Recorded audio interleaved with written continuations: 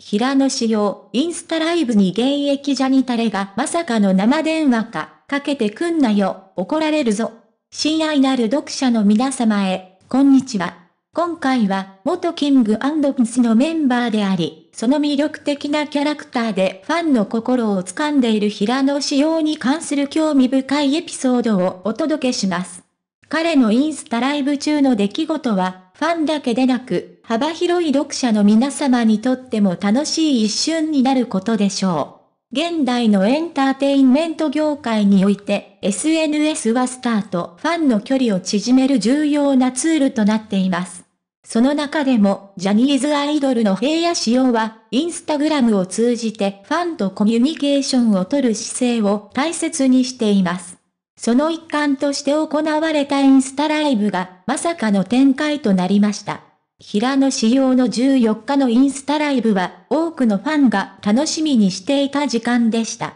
ライブ配信中、彼がスマートフォンの呼び出し音に驚きました。視聴者にはその瞬間が目撃され、その後の展開がファンたちの心をワクワクさせました。着信を受けるか否か迷った後、平野は電話に出る決断をしました。相手は親友であり、電話口で、どうした？今、インスタライブしているよ、と説明しました。しかし、その返答には驚きと苦笑いが混ざりました。なんと、その親友はインスタライブを視聴しながら電話をかけてきたのです。平野とのやりとりは楽しさに溢れ、一方で驚きも隠せないものでした。電話の相手は平野をからかいながら、見ているのに、電話をかけてくんなよ、バカじゃないの。ほんと、やばいんだけど、とジョークを飛ばしました。この会話は、平野のファンにとっては貴重な瞬間となりましたが、その正体は明かされることはありませんでした。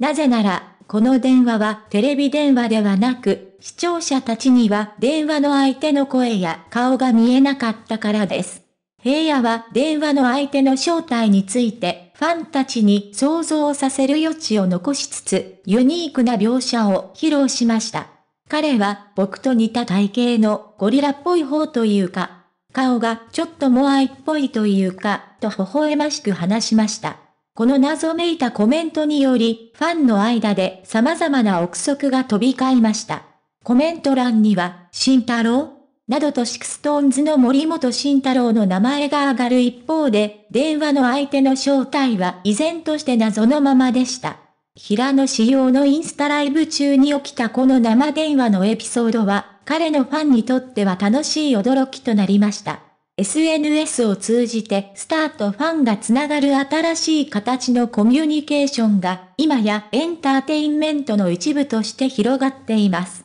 平野のユニークな魅力がこのエピソードを通じてさらに輝きを増していることでしょう。今回の記事をお読みいただきありがとうございました。平野仕様のファンの皆様にとって彼の人間味あふれる一面が少しでも感じられたなら幸いです。これからも平野の活躍に期待し、彼の魅力に夢中になり続けましょう。